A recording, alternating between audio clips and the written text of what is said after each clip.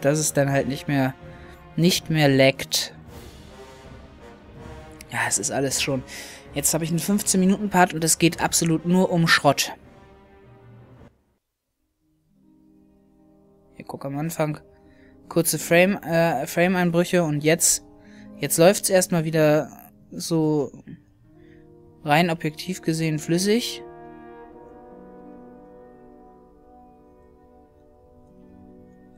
Allerdings weiß ich jetzt nicht, wie lange. Hm. Also dann gehe ich hier drauf, gucke mir jetzt mal wieder, wo ein bisschen mehr Landschaft irgendwie gezeigt werden muss. Hier möglichst schnell irgendwie. Das ist immer so mein, mein Test, ob ich, ob ich irgendwie Frame-Einbrüche habe. Und da ist absolut alles in Ordnung. Permanent über 80 FPS. Das ist für mich sehr verwirrend. Also ich... Oh, wen haben wir denn da unten? Irgendein mit dem... mit dem äh, Bezahnhound. Das ist für mich alles sehr äh, verwirrend. Und äh, ich weiß noch nicht, wie ich damit umgehen soll. Also, ich bin alle Computerexperten da draußen, ja. Wenn ich irgendwelche Computerexperten hier habe unter meinen Zuschauern. Guckt jetzt schon wieder, das sieht man ja, wenn die Flügel irgendwie so langsam ein bisschen zucken. Gerade bei diesem Übergang. Jetzt auch wieder leicht. Jetzt geht er wieder auf 30 runter. 19, 13, 12, 10. 60, 70. Ich kann mir nur erklären, dass das irgendwas damit zu tun hat, dass es irgendwie, dass er damit Probleme hat, das abzuspeichern. Alles andere macht für mich im Moment keinen Sinn. Das ist ganz nervig. Das ist ganz, ganz nervig.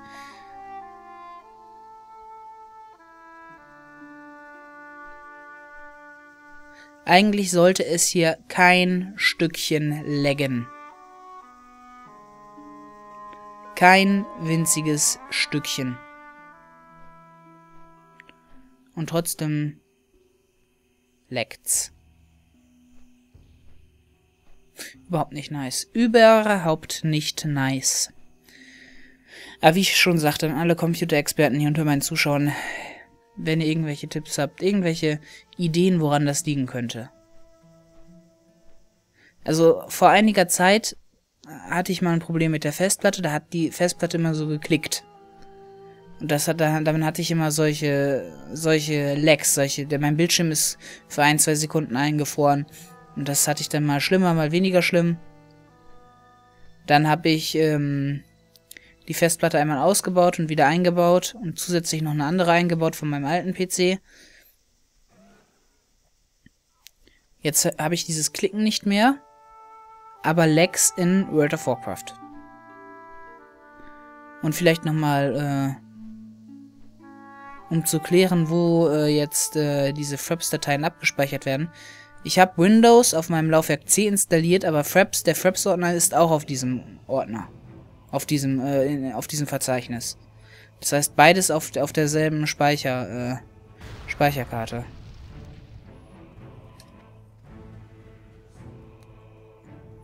Das ist schon... Ich verstehe es nicht. Ich verstehe es wirklich nicht. Und, äh... Bin ratlos im Moment, wirklich. Jetzt ist es wieder absolut perfekt. Überhaupt gar keine Mucken. Zack, zack, zack, zack. Hier überall. Überhaupt gar kein Problem. Ob ich jetzt hier das Interface ausblende oder ob ich es wieder einblende. Einfach nur beschissen. Ich glaube, mein PC ist in den letzten WoW-Parts von mir mein Hauptthema. Das tut mir leid. Aber Irgendwo, irgendwo und irgendwann muss ich ja mal meinen Dampf auslassen, also... Das ärgert mich sowas von. So, jetzt habe ich wenigstens nochmal meinen Heimatort hingelegt. Jetzt wäre es schön, wenn ich noch wenigstens reparieren könnte.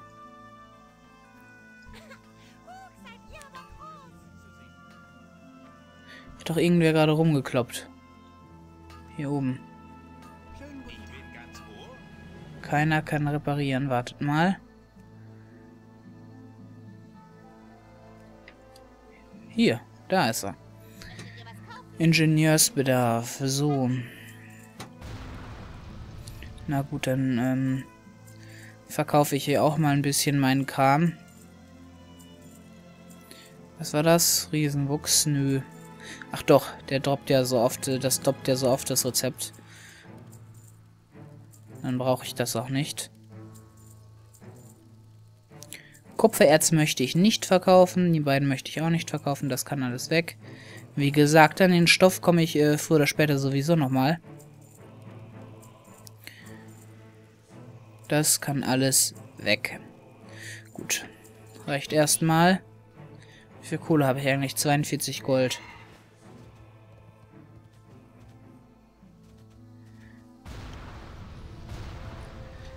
Wobei, jetzt auch nochmal, um zurückzukommen auf, mein, auf meine Lex hier, als ich jetzt gerade die Add-ons äh, ausgemacht habe, es wurde ja leicht besser. Ich, ich kann es nicht einschätzen. Ich habe einfach zu wenig Ahnung von der gesamten Materie. So, ich soll Pionierspezialisten töten. Das waren doch die, die mir gerade entgegengekommen sind.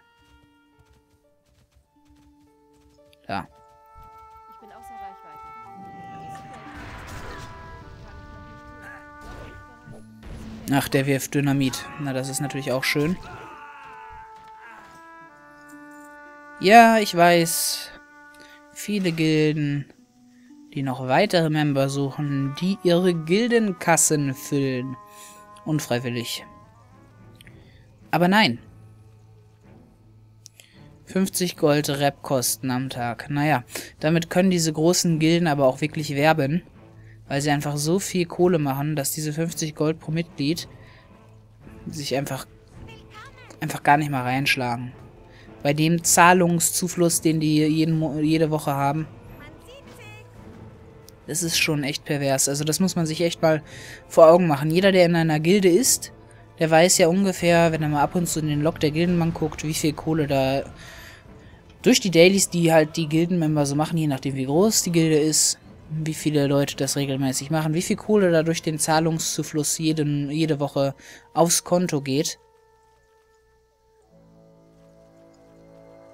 Und da kann man sich dann sehr gut vorstellen, dass so eine Level-Gilde, wo wirklich alle Leute nur darauf bedacht sind, möglichst schnell die Maximalstufe zu erreichen. Und dann halt dementsprechend absolutes Speed-Leveling machen, jedenfalls die meisten. Da kann man sich dann vorstellen, was so eine Gilde an Kohle macht in der Woche. Also ich, bei so richtig großen Gilden mit über 1000 Mitgliedern, von den 1000 sind natürlich längst nicht alle aktiv, nur ein Bruchteil, ein Zehntel vielleicht. Aber man hat 100 aktive, aktive äh, Leute, die questen. Das sind in der Woche bestimmt über 10.000 Gold. Locker. Locker. Wahrscheinlich das Doppelte. Also das lohnt sich richtig. Das lohnt sich richtig. Ich hatte mir auch schon mal die Geda äh, Gedanken gemacht, sowas zu machen. Ich habe es ja sogar auf Nesum mal angefangen. Auf Vorderseite war aber weniger erfolgreich. Na bravo. 4586 Leben. Der wird also so um die Stufe 50 sein. 10 Level muss er über mir sein damit der Totenkopf ist. Also er ist mindestens Stufe 47. Also ich tippe auf 47, 48, 49, 50. Irgendwas davon. Darf mich nicht sehen, hat mich auch nicht gesehen. Doppelzopfs Patrouille. Meldet euch bei Doppelzopf. Abgeben. Findet Marley Doppelzopf. Ein Verwandter anscheinend. Hier ist gleich der nächste. Ach. Müssen wir hier wieder die Kodos töten. Es gibt so ein, ein lustiges Lied von Oxhorn. So ein, äh, so ein Künstler, der viel mit WoW macht, mit World of Warcraft, aber äh, hauptsächlich so auf den musikalischen Inhalt konzentriert. Und der hat so ein Lied über die, Ta über, über die Kodos gemacht. Als das beste Mount in diesem Spiel. Äh, also, falls es wen interessiert, einfach mal bei, bei äh, YouTube äh, Oxhorn und äh, Kodo eingeben. The Great Kodo heißt das Lied, glaube ich. Ich finde es lustig. Es ist auch schon schon recht alt und bezieht sich auch noch auf das Klassik WoW.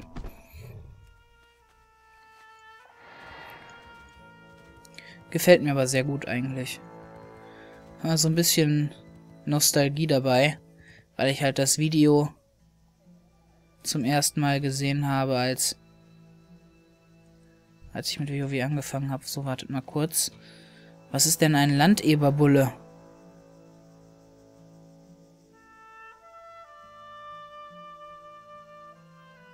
Ah, okay. Ich muss ein paar jagen und dann wird der, wird der Big Boss da wahrscheinlich einfach erscheinen. Und dort hinten ist schon wieder dieser Hexer. Nee, du. Andererseits habe ich auch keine andere Wahl. Sonst werde ich ja nie fertig. Und im Zweifel lege ich mich auch mit dem an.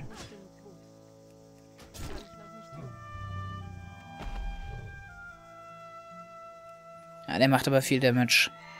Das könnte sogar eventuell... Da ist ein Landeberbulle. Oh nein, nein, nein, nein, nein, nein. Das könnte sogar ein Bot sein. Ist der von unserem Server? Fuck, der kommt auf mich zu. Oh nein, bitte greif mich nicht an.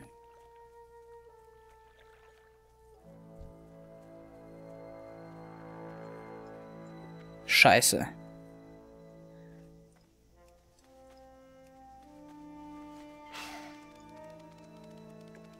Ah, er geht in eine andere Richtung. Glück gehabt. Der war freundlich, beziehungsweise nicht sehr feindlich. Man könnte denken, als er auf mich zugekommen ist, dass das so, ein, so eine Art Angriffserklärung war. Aber ich bin ausgewichen naja, dann hat er mich doch nicht verfolgt. Wobei ich jetzt gerne gesehen hätte, ob der von unserem Server ist. Wie geht's? Oh, Leute, bitte, bitte lass mich in Ruhe, Mann. Er haut ab. Sehr schön. So. Ein Schwert. Deutlich schlechter als meins. Oh, Level Up. Jetzt, jetzt müsste ich ihn sehen können. Dann ist er also mindestens Stufe 48. Ist vom Blackrock.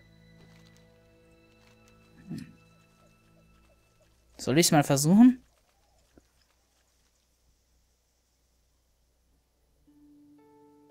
Soll ich echt mal versuchen, den anzugreifen? Lustig wär's. Komm. Ah, komm. Dem gebe ich jetzt einfach mal. Warte mal kurz warten. Oh, ihr wollt mich doch verarschen. Ja, jetzt ist... Jetzt ist das endgültig Geschichte. Jetzt verpiss ich mich. Ich wäre ja gerade so dreist gewesen hätte ihn angegriffen. Ist ein Stoffler. Gut, er ist mindestens 10 Level höher als ich, aber das sind so Leute, ich hätte mir gut zutrauen können, das war so ein Movement-Krüppel. Das heißt, immer wenn der castet und kurz bevor der zu Ende gecastet hat, einmal durch ihn durch und dann castet er ins Leere und äh, der Zauber bricht ab. Das hätte bei dem bestimmt gut geklappt. Könnte ich mir jedenfalls vorstellen. Was haben wir denn hier? Ein kleines Minilager vom irdenen Ring. Das kennen wir doch. Ich glaube, das sind jetzt die ganzen ja, das sind die ganzen Quests, die mich genau in diese Ecke führen. Wo wir die beiden Hordler getroffen haben. Ach du Schande. Ja, was soll ich machen? Ich kann mich da jetzt großartig verstecken. Den Part könnte ich jetzt hier beenden. Oder ich habe den Mut und werde jetzt hier ausräuchern.